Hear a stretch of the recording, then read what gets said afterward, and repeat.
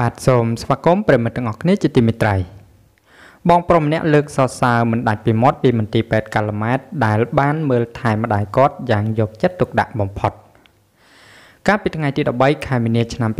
2020មានកណន័យ Facebook មួយមានឈ្មោះថាប៉ូលីសខុនបានបង្ហោះសារថាសូមគោរពបាត់នៅទឹកចិត្តដល់ប្រពៃរបស់ក្រុមគ្រូពេទ្យទាំងអស់នៅមន្ទីរពេទ្យកាល់ម៉ែតដែលលោកបានយកចិត្តទុកដាក់ ថែទាំម្ដាយខ្ញុំតាំងពីខ្លងទ្វារចូលរហូតដល់ចប់រួចរាល់ម្ដាយខ្ញុំគាត់មានជំងឺដុសសាច់នៅបំពង់ខ្យល់គាត់បាទទៅដោយមិនបានប្រាប់ឲ្យកូនកូនដឹងនោះទេ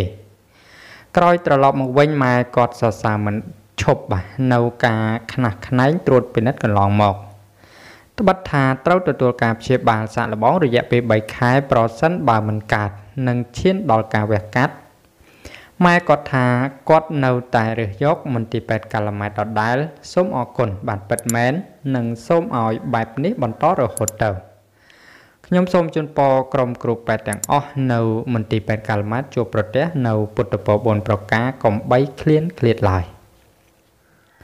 បាទទន្ទឹមនឹងនេះដែរក៏មានបងប្អូនជាច្រើនបានសរសើរដល់ក្រុមគ្រូពេទ្យមន្ទីរពេទ្យកាឡាម៉ែត